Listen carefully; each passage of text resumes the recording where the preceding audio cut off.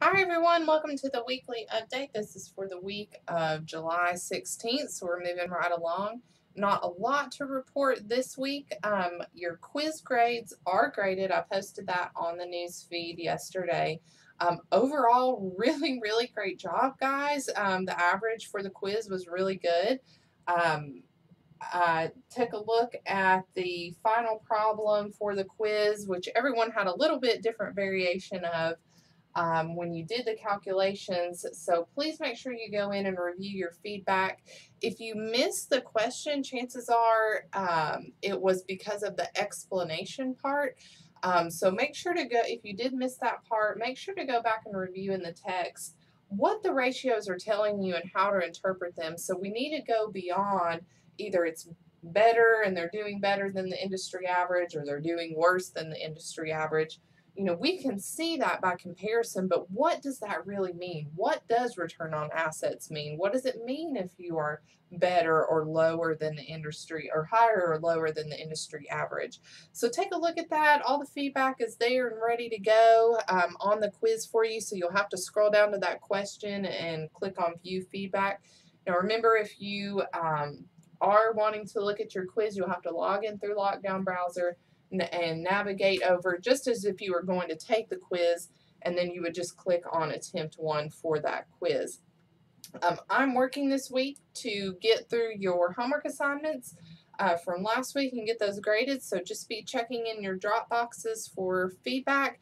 Um, my goal is to have those graded with feedback um, individually to each of you by the end of the week. So just be checking through the week um, to keep updated on that. Um, let's take a look at the course schedule for this week and we'll look a couple weeks down the road. So we're here week of July 16th. This week we're going to be talking about financial risk, ret uh, required return. Um, so we're going to be talking about standard deviation, variance, uh, different things like that when it comes to required return in Chapter 10. Now the only thing we have due this week is our last quiz of the semester, Chapter 10 quiz opened yesterday at 8 a.m. Um, we'll close, as with the other quizzes, this coming Sunday, the 22nd at 11.59 p.m. So make sure to go in, um, get that quiz taken before this Sunday, and that is your only assignment due for this week. Now, the last three weeks of class are approaching very quickly, so next week we have the week of July 23rd. Um, now, I want to uh, give a special note here what I've done here, there was a lot of information contained in these chapters. So what I've done is kind of taken and uh, modified these chapters and put them together in one lecture. So we're going to cover a summary of chapters 11 through 13 where I'm giving you some highlights from each chapter. Now, if I don't directly cover the topic in the slides, you are not going to be tested on it for your final exam. Now, the topics that I do cover in the slides uh, for the lecture notes, make sure to go in and read that information in the textbook so that you can expand on what I'm covering in the lectures themselves because you will be responsible for the material that is covered in the lecture slides and that includes the sections um, in the chapters for 11 through 13 where that information is covered. So make sure to go in and review that. Next week we'll be talking again, um, summary of chapters 11 through 13 where we talk about co uh, capital cost structures, um, security markets, bonds, and equity financing. Um, next week you're going to have problem case study number two, your last problem case study. That's going to be due by July 29th. Then when we move into the week of July 30th, um, we've got the same thing going on where we have a summary of chapters 14 through 16.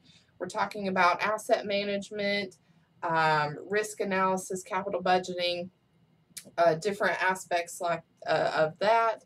Um, again, you're not going to be you're going to be responsible for the information that's covered in the lectures and the um, information that goes along with that in the textbook. But if we don't cover it in the lectures, um, you know, there's a lot of different formulas, different things like that that we don't cover in the lectures you're not going to be responsible for it for purposes of the final exam. So if you have any questions, just let me know. I'll be happy to talk to you about it. And that week we'll have our last ethical case study to do as well. Now remember, there's no right or wrong answer necessarily for these case studies, but I am looking to see how you're logically thinking through these issues. Um, there are rubrics available, so I am looking for different um, types of form, you know, different minor things, formatting to APA, your reference choice, uh, you know, simple things like making sure you have page numbers, which those are all very minor points. I am overall looking for your ability to critically think and support your position with evidence from class and from outside resources. Now, speaking of resources and references, um, just to build off the last case study that was used, make sure that you're cautious of the references that you use. They do need to be peer reviewed. Um, so it needs to come from an academic journal, um, CDC website, uh, something to that effect.